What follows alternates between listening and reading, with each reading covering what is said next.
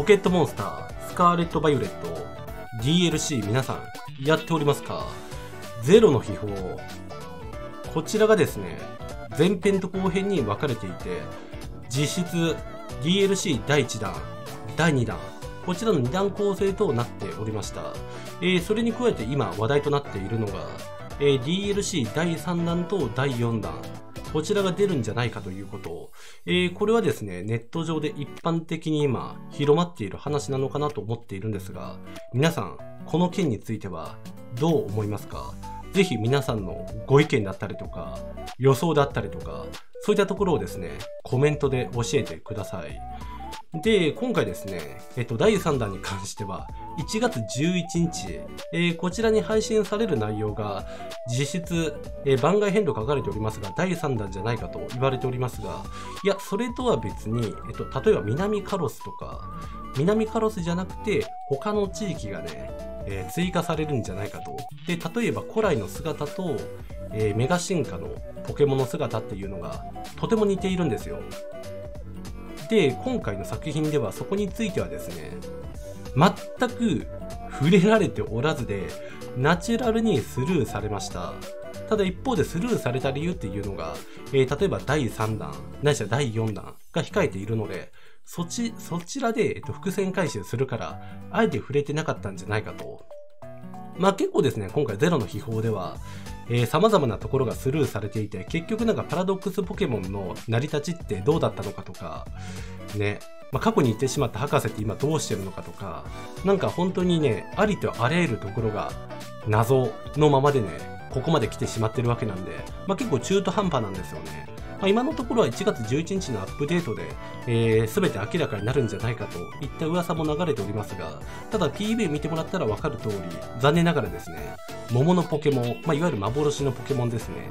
で、そちらのポケモンの追加と、そで、それに付随するストーリーが追加されると、まあそこがメイントピックスとなっておりますから、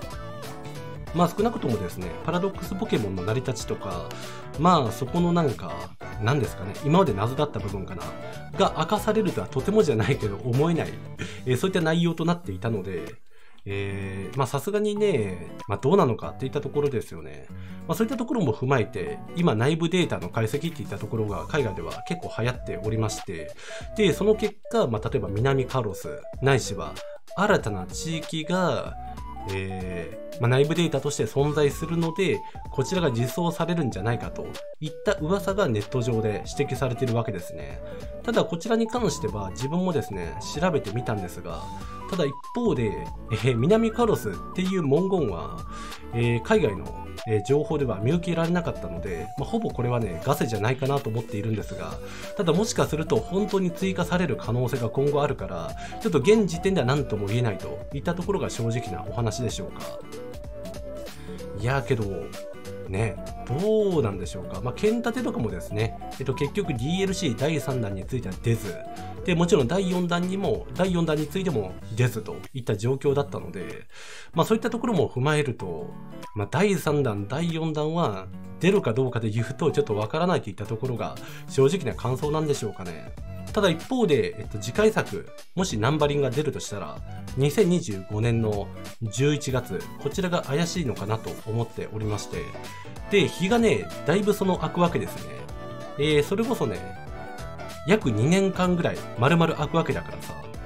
で、そこを考えた時に、さすがに空白期間が2年間は長すぎるから、で、その間にブラホはね、リメイクが出るとも考えがたいので、ってところを踏まえると、まあ確かになんか第3弾、第4弾で繋いでくるみたいな、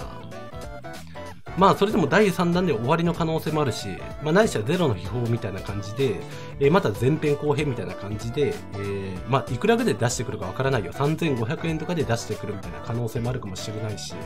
まあ、様々な説が考えられますけど、まあ、確かに第3弾、第4弾みたいな感じで繋いでくる可能性はあるかもしれませんね。ただまあ内部データではですね、いろいろな情報が発覚はしているものの、ただまあ空白データであったりとか、いろいろなデータもあるので、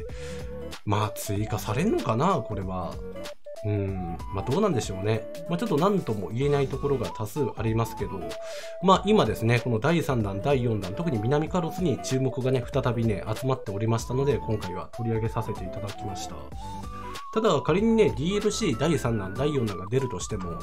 まあ、どうだろうね。さっきも言った通り、2025年の11月頃に、えー、第10世代が、第10世代ってやばいよな。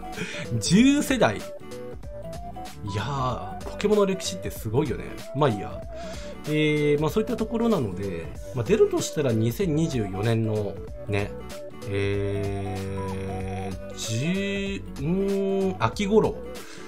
秋頃でしょうね。秋、春とかに出るんじゃないかな。まあ、ちょうどそのゼロの秘宝の前編と後編が、えっと、出たタイミングあたりで出るみたいなことを考えると、まあ、下手すると、えっと、次回の任天堂ダイレクトで早々に第3弾、第4弾が発表されるとは思えないけど、なんかポケモンデーとかでもしかすると発表があるかもしれませんね。で、ポケモンデーで第3弾、第4弾がありますみたいな、そういった告知があって、で、その後に、ね、ゼロの秘宝と同じような感じで、秋と冬、ないしは春に実装。で、そのまままた1年ぐらい経過して、で、満を持して、ね、第10世代が出るみたいな、まあ、結構綺麗なシナリオになってるので、まあ、その可能性はね、十分あり得るのかなとは、えー、思っています。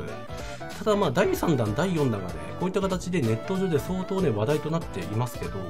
どうなんだろうね。まあ、結局なんか没データな感じもするし、解析でなんかデータがね、例えば見つかったみたいな話が結構ありますけど、ただ一方でこちらに関しては、やはりですね、うーん、没データじゃねえかなと思うんだけどね。まあどうなんでしょうか。まあ追加の DLC か。やっぱり世間の関心ってやっぱそこなのかな。まあ結局なんか DLC の第2弾。まあ結局そこのところテラバグスのお話とかもね完結して、で、やることが一気になくなってしまったという方も多くて、まあ対戦やってる方もさ、まあ結局一部だけなので、えー、まあそこに対してやることがなくなってしまったから、まあ次の関心っていったところがおのずと第3弾に向かっているのかなと思いましたね。はい。ただ、桃アローの話が結局どこまで拡張するかっていうところですよね。なんか1月11日になってみないと、なんか今後の展開って結構読めないところがあるのかなと思ってて、まあ、桃アローの話で一旦ですね、このスカーレット・バイオレットの話って完結するような感じもするし、なんか逆に完結するんであれば、第3弾とか第4弾が今後出たとしたら、なんか話もこじれてしまうので、なんかそれもそれでおかしな話になってしまいますよね。まあ、桃アローなのか、ピーチドンなのかわからないけどね。っていうか、ピーチドンってさ、どこから出てきたんだっけ？なんか、ポケ鉄とかですでにその、桃アローの、えー、種族地とか判明しておりますが、あれってそもそもなんか載せていいんだっけ？みたいなツッコミはさておき、まあ、モモアロー一応幻のポケモンとなってるみたいなんですが、まあ、あいつがどういう役割を今回果たしてくれるのか、まあ、残りね、わずかでアップデートとなりますので、まずはそこをですね、皆さん一緒に楽しんでいきましょう。まあ、結局なんかそれ次第なのかな。まあ、そんなところで、今回ちょっと最後に振り返っていきたいんですが、ELC 第3弾、第4弾について、えー、取り上げてる記事とかが多かったので、今回は個人的な見解をお話しさせていただきました。ではまた。